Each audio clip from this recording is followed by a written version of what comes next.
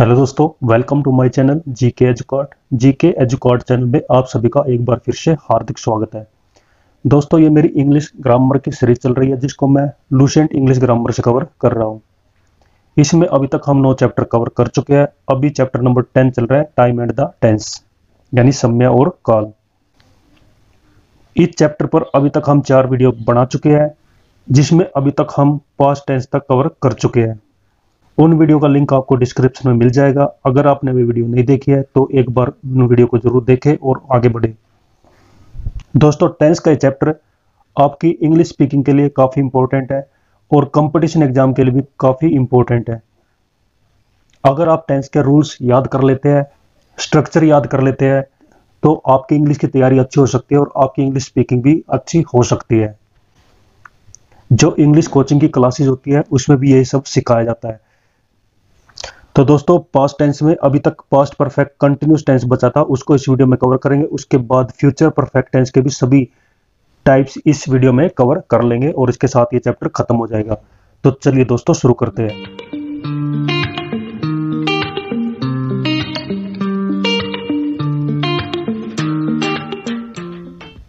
तो past tense का last type आ जाता है पास्ट परफेक्ट कंटिन्यूस टेंस जिसका स्ट्रक्चर बनेगा सब्जेक्ट हैड बीन वर्ब की फोर्थ फॉर्म प्लस ऑब्जेक्ट फिर फोर सिंस और टाइम जहाँ पे परफेक्ट कंटिन्यूस की बात होगी, चाहे वो प्रेजेंट टेंस हो पास्ट टेंस हो या फिर फ्यूचर टेंस हो। परफेक्ट कंटिन्यूस टेंस में फोर और सिंस का यूज़ किया जाएगा। ऐसे हमने प्रेजेंट परफेक्ट कंटिन्यूस टेंस में पढ़ा था। लेकिन फ्यूचर कंटिन्यूस टेंस में हम फोर सिंस की जगह किसका यूज़ करेंगे? फ्रोम का। यही तीनों में डिफरेंस है। तीनों का डिफरेंस आपको कंपैरिजन करना है, तभी आप तीनों के टाइप्स अच्छी तरह से याद कर पाएँगे और स्ट्रक्चर इनके काफ़ी इंपॉर्टेंट है। परफेक्ट कंटिन्यूस टेंस प्रेजेंट में है तो हम हैज़ और हैव बीन वर्ब की फोर्थ फॉर्म का यूज़ करेंगे। परफेक्ट कंटिन्यूस टेंस पास्ट में है तो हम यूज़ करेंगे हैड बीन प्लस वर्ब की फोर्थ फॉर्म का। ये भी दोनों में डिफरेंस है फ्यूचर का हम आगे पढ़ेंगे।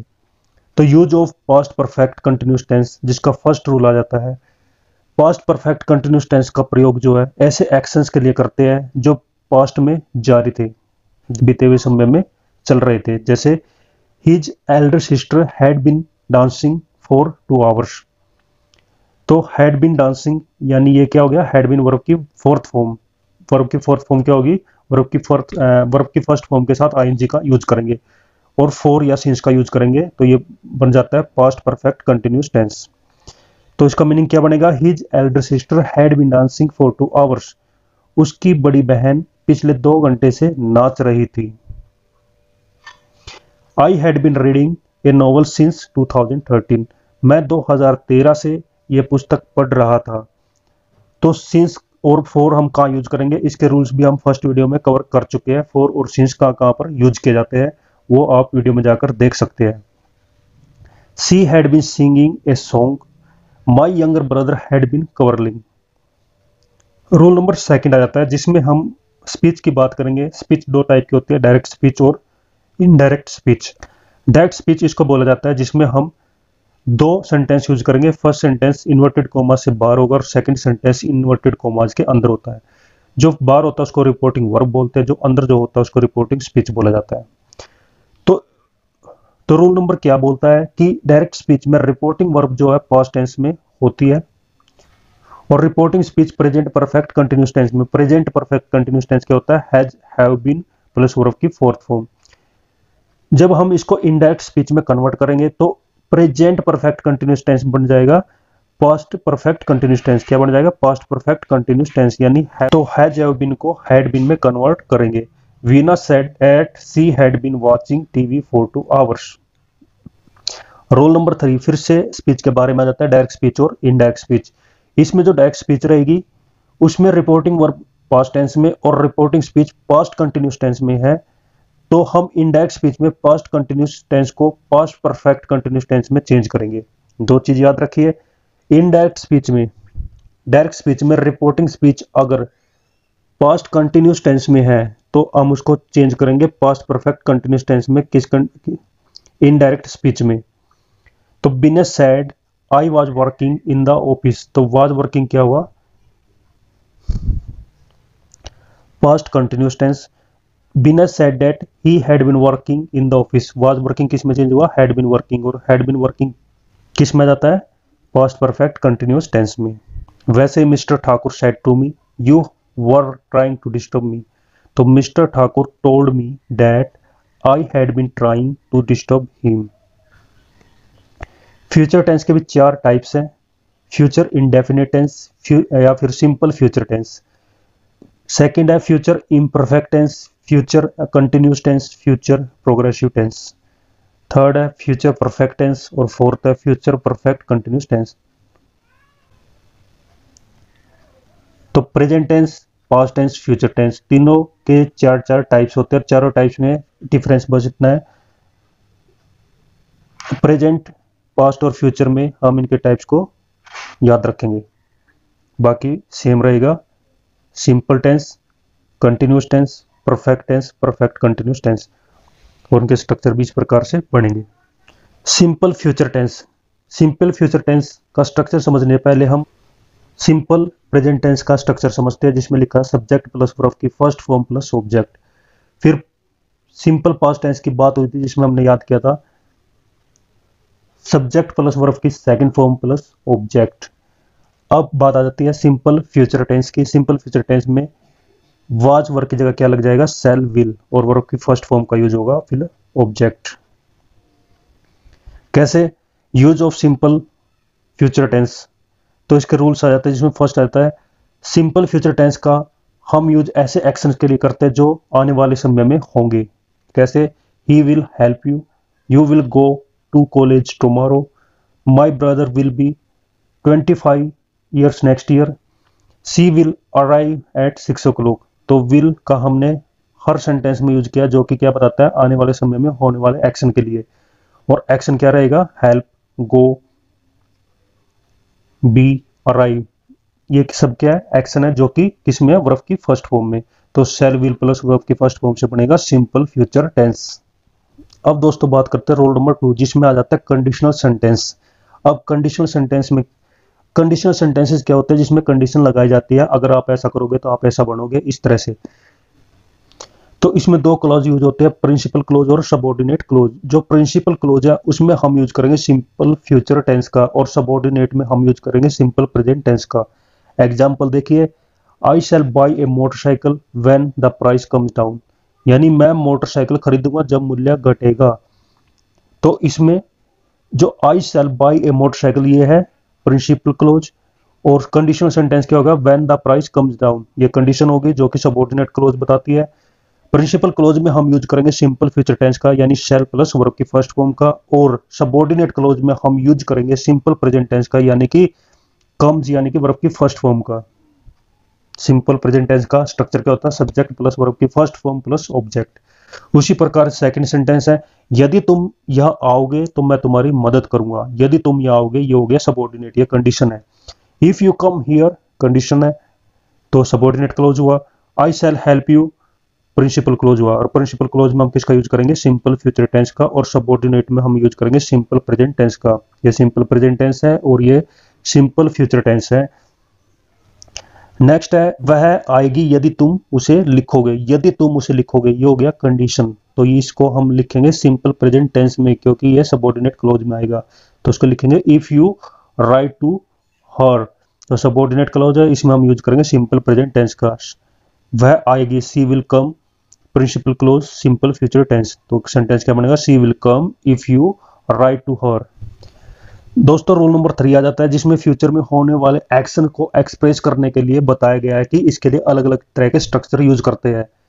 फ्यूचर में कुछ एक्शन होंगे फ्यूचर में हम कुछ कार्य करेंगे, या फिर करना पड़ेगा, या फिर करना होगा, इस तरह से कुछ एक्शन होते हैं, जो हम फ्यूचर में बताना चाहते हैं फ्यूचर में उनको एक्सप्रेस करना चाहते हैं।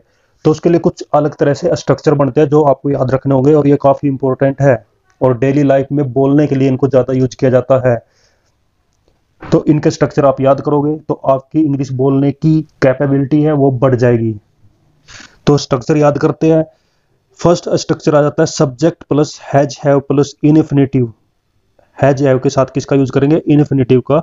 इन्फिनेटिव मतलब टू प्लस वर्ब की फ़र्स्ट फॉर्म का। ये स्ट्रक्चर हम उस केस में यूज़ करते हैं, जहाँ पर हमको फ्यूचर में कुछ काम करना ज़रूरी होता है। जैसे, मुझे फ़ीस जमा करना है। I have to pay the fees तो हैव टू का यूज़ करेंगे, जो काम हम फ्यूचर टाइम में करेंगे, या करना पड़ेगा। उस समय पर आना है।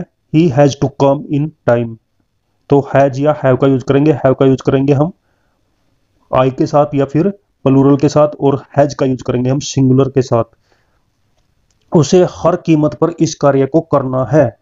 तो she has to do this work at any cost तो जो काम हमें फ्यूचर में करना है, करना ही है तो हम उसके लिए किसका यूज़ करेंगे? Has have to plus verb की फ़र्स्ट फॉर्म सेकेंड आ जाता है, जिसमें subject plus is am are plus infinitive is am are के साथ क्या लगाएँगे? इन्फिनेटिव यानी टू प्लस वर्ब की फ़र्स्ट फॉर्म इस तरह का स्ट्रक्चर हम कहाँ पर यूज़ करेंगे? इस तरह का स्ट्रक्चर हम यूज़ करेंगे जो फ्यूचर में होने वाला है। तो उसके लिए हम यूज़ करेंगे is am are plus verb की टू प्लस वर्ब की फ़र्स्ट फॉर्म जैसे he is to come to Patna वह पटना आने वाला है। तो he is to is to के साथ हम वर्ब की फ़र्स्ट फॉर्म कम का यूज़ करेंगे। तुम परीक्षा में सम्मिलित होने वाले हो। You are to appear at the exam तो आर टू अपेयर ये अब तीसरा स्ट्रक्चर याद करते हैं। इज़ एम आर के साथ यहाँ पर अबाउट का यूज़ करेंगे, फिर इन्फिनिटिव का यूज़ करेंगे। ऊपर बिना अबाउट के यूज़ था, इसमें हमने अबाउट को और जोड़ दिया। अब सेंटेंस का मायने बदल जाता है। कैसे? रोगी मरने मरने को है, रोगी मरने को या फिर मरने ही वाला है।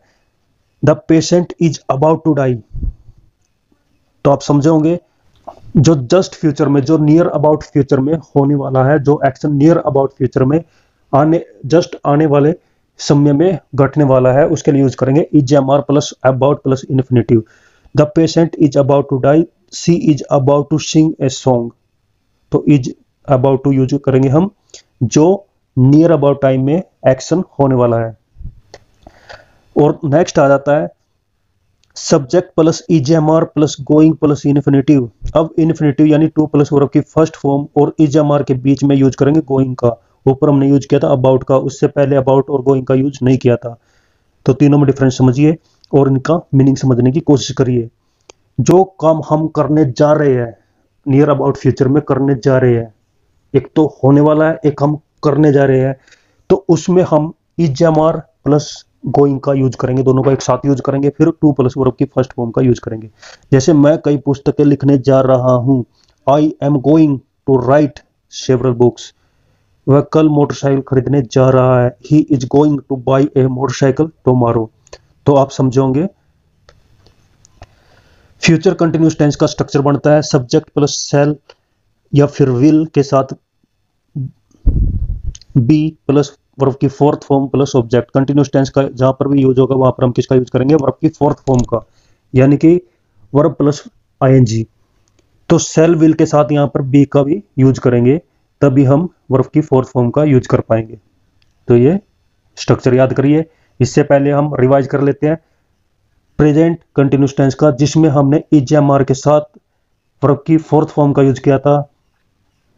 पास्ट कंटिन्यूस टेंस में हमने वाज वर्ग के साथ वर्ब की फोर्थ फॉर्म का यूज़ किया था और फ्यूचर कंटिन्यूस टेंस में हम यूज़ करेंगे shall will plus be plus verb की फोर्थ फॉर्म जिसका फ़र्स्ट रूल आ जाता है। फ्यूचर कंटिन्यूस टेंस का हम यूज़ कहाँ पर करते हैं? हम ऐसे एक्शन के लिए करते हैं जो आने वाले समय में जारी रहेंगे। कैसे? कल सुबह वह क्रिकेट खेलता रहेगा। तो यह आने वाले समय में जारी कार्य के बारे में बताया है। He will be playing cricket tomorrow morning वह वहाँ पर रुकी रहेगी। She will be staying there तो विल बी प्लस वर्ब की फोर्थ फॉर्म कल इस समय मैं फ़िल्म देखता रहूँगा। At this time tomorrow I shall be watching the film तो shall plus be plus verb की fourth form rule number second आ जाता है, जिसमें बताया गया है कि फ्यूचर कंटिन्यूस टेंस का हम फ्यूचर में किसी सर्टेन प्रोग्राम के लिए, किसी फिक्स प्रोग्राम के लिए या फिर फिक्स प्लान के लिए यूज़ करते हैं। कैसे? Manisha will be meeting me tomorrow Manisha मुझसे कल मिलने आएगी। Vinay will be staying there till Friday Vinay यहाँ पर फ्राइडे तक रुकेगा। She I shall be doing this work till the end of this month मैं इस महीने के लास्ट तक यहाँ पर कार्य करता रहूँगा। Neeraj will be preparing for the examination next month Neeraj अगले महीने से एग्ज़ाम की तैयारी करता रहेगा। तो ये फ्यूचर में होने वाले सर्टेन प्रोग्राम या प्लान के लिए जिसमें हम विल बी या सेल बी के साथ आईएनजी का यूज़ करेंगे, यानी कि हम किसका स्ट्रक्चर यूज़ करेंगे? फ्यूचर कंटिन्यूस टेंस का। अब दोस्तों हैं फ्यूचर परफेक्ट टेंस जिसमें हम स्ट्रक्चर यूज़ करेंगे सब्जेक्ट प्लस सेल विल उसके साथ हैव का यूज़ करेंगे। परफेक्ट जहाँ पर बात हुई, वहाँ पर हैव का यूज़ हो जाएगा, और जहाँ पर हैज़ हैव हैड लग जाता है, वहाँ पर वर्ब की थर्ड फॉर्म का यूज़ होगा, उसके बाद ऑब्जेक्ट का यूज़ करेंगे। इससे पहले हम पीछे के दो रिवाइज कर लेते हैं। प्रेजेंट परफेक्ट टेंस में हम यूज़ करते थे हैज़ हैव प्लस वर्ब की third form past perfect tense में हम यूज़ करते थे हैड प्लस वर्ब की थर्ड फॉर्म और फ्यूचर परफेक्ट टेंस में हम यूज़ करेंगे shall will have plus verb की थर्ड फॉर्म तो ये आप याद रखिए। इसका रूल नंबर फ़र्स्ट आ जाता है। रूल नंबर फ़र्स्ट में बताया गया कि फ्यूचर परफेक्ट टेंस का यूज़ हम ऐसे एक्शंस के लिए करते हैं जो एक्शन फ्यूचर में किसी निर्धारित समय पर किसी डेफिनेट पीरियड में खत्म हो चुका होगा फिनिश हो चुका होगा। कैसे? उसका भाई अगले महीने तक कार्य समाप्त कर चुका होगा। तो his brother will have finished the work by next month तो विल हैव प्लस वर्ब की थर्ड फॉर्म वह शाम तक घर वापस आ चुकी होगी। She will have to come back home by evening तो यहाँ पर विल हैव प्लस वर्ब की थर्ड फॉर्म कम का यूज़ हुआ है। नेक्स्ट है सोमवार से पहले तक अपना कार्य समाप्त कर चुका होगा। तो he will have finished his work before Monday तो विल हैव के साथ वर्ब की थर्ड फॉर्म फिनिश्ड का यूज़ किया है। तो आप समझे होंगे, आगे बढ़ते हैं।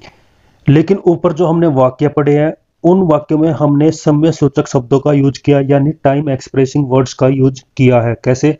By next month by evening before Monday by by next year तो ये होते हैं समय सूचक शब्द टाइम एक्सप्रेसिंग वर्ड्स जिनका यूज़ करना ज़रूरी है। इनके अलावा कुछ और वर्ड्स हैं जो कि टाइम एक्सप्रेसिंग वर्ड्स को बताते हैं, जिनका हम यूज़ फ्यूचर परफेक्ट टेंस में कर सकते हैं। जैसे by Monday by Tuesday by Thursday या फिर by January by February by March month name before Monday before Sunday या फिर बिफोर जनवरी बिफोर फरवरी तो आप इस तरह से याद कर सकते हैं। रूल नंबर टू आ जाता है, जिसमें बताया गया है कि फ्यूचर परफेक्ट टेंस का यूज़ हम लाइकलीहुड या फिर इनफेरेंस एक्शंस के लिए करते हैं। लाइकलीहुड यानी संभावना और इनफेरेंस मतलब कि अनुमान। जो कार्य हमें लगता है जिसके होने की संभावना है या फिर जिनका होने का अनुमान है, उसमें हम फ्यूचर परफेक्ट टेंस का स्ट्रक्चर यूज़ करेंगे। लेकिन हम जब उस सेंटेंस को यूज़ करेंगे, उसका मीनिंग निकालेंगे तो उसका सेंस पास्ट में आएगा, यानी हमें लगेगा कि वो पास्ट में पास्ट से रिलेटेड है। कैसे? शायद तुमने मदर ट्रेसा का नाम सुना होगा। तो you will have heard the name of Mother Teresa तो will have heard will have के साथ वर्ब की थर्ड फॉर्म का यूज़ किया है। शायद तुमने गीता पढ़ी होगी। You will have read the Gita. शायद वह मदर इंडिया फ़िल्म देखा होगा। He will have watch the film Mother India. साथ ही दोस्तों, यहाँ पर एक नोट दिया गया जिसमें बताया गया कि ऊपर जो हमने वाक्य यूज़ किया है कि तुमने मदर ट्रेसा का नाम सुना होगा, तुमने गीता तुमने गीता पढ़ी होगी, तुमने मदर इंडिया फ़िल्म देखी होगी। अगर आप उस पर ज़ोर देना चाहते हैं कि तुमको वो करना ही है तो तब हम मस्ट का यूज़ करेंगे। किसकी जगह पर? विल की जगह पर। ऊपर वाक्य में एक्शन को एम्पसाइज करने के लिए, कार्य पर ज़ोर डालने के लिए हम विल की जगह मस्ट का यूज़ करेंगे। काफ़ी इंपॉर्टेंट है। You must have heard the name of Mother Teresa तुम, तुमने मदर ट्रेसा का नाम सुना ही होगा। तो मस्ट हैव हियर्ड हम यूज़ करेंगे एक्शन को एम्पसाइज करने के लिए, कार्य पर ज़ोर डालने के लिए। अब आ जाता है रोल नंबर थ्री जिसमें बताया गया है कि फ्यूचर में दो कार्यों के बारे में, अगर फ्यूचर में दो कार्य होने की संभावना है, यानी फ्यूचर में दो कार्य होंगे, एक पहले और एक बाद में, एक पहले समाप्त हो चुका होगा और दूसरा कार्य उसके बाद में समाप्त हो चुका होगा। कब फ्यूचर में फ्यूचर के बारे में बताएँगे। तो हम उसमें फ्यूचर परफेक्ट टेंस और सिंपल पास्ट टेंस दो टेंस यूज़ करेंगे। जो कार्य पहले होगा, उसके लिए हम यूज़ करेंगे फ्यूचर परफेक्ट टेंस का, यानी कि विल हैव प्लस वर्ब की थर्ड फॉर्म का। और जो कार्य बाद में होगा, उसमें हम यूज़ करेंगे सिंपल प्रेजेंट टेंस का, यानी कि ओनली वर्ब की फ़र्स्ट फॉर्म का। कैसे? तुम्हारे आने से पहले मैं अपना कार्य समाप्त कर चुका होगा। तो आने से पहले कार्य समाप्त कर चुका होगा। ये दो कार्य हो जाते हैं जो फ्यूचर में होंगे।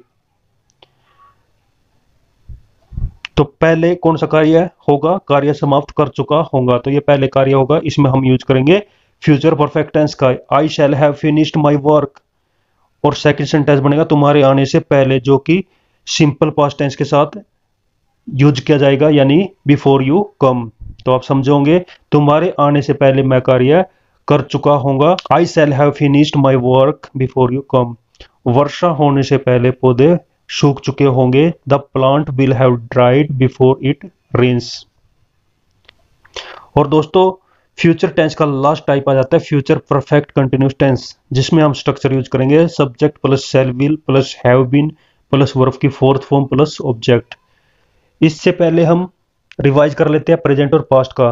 प्रेजेंट परफेक्ट कंटिन्यूस टेंस में हम यूज़ करते थे हैज़ और हैव बीन प्लस वर्फ की वर्फ की फोर्थ फॉर्म, यानी कि वर्फ प्लस आईएनजी। और पास्ट परफेक्ट कंटिन्यूस टेंस में हम यूज़ करते थे हैड बीन प्लस वर्फ की फोर्थ फॉर्म। और फ्यूचर परफेक्ट कंटिन्यूस टेंस में हम यूज़ करेंगे shall will have been plus verb की फोर्थ फॉर्म तो तीनों में डिफरेंस समझ में आया होगा। अब दोस्तों इसके रूल्स पढ़ते हैं। जिसमें एक ही रूल दिया गया है फ्यूचर परफेक्ट कंटिन्यूस टेंस का यूज़ हम ऐसे एक्शंस के लिए करते हैं जो फ्यूचर में जारी रहेंगे, लेकिन एक निश्चित समय तक जारी रहेंगे।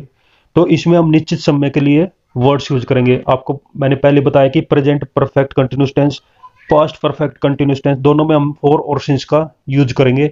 लेकिन फ्यूचर परफेक्ट कंटिन्यूस टेंस में हम यूज़ करेंगे फ्रॉम का सिंस और फोर का यूज़ नहीं किया जाएगा। और सिंस और फोर का भी अलग अलग तरीके से यूज़ किया जाता है। ये ऑलरेडी मैं फ़र्स्ट वीडियो में बता चुका हूँ। फोर का यूज़ किस समय के लिए होगा और सिंस का यूज़ किस समय के साथ होगा। तो इसके एग्ज़ाम्पल पढ़ते हैं। Lata will have been singing from morning Lata सुबह से गा रही होगी।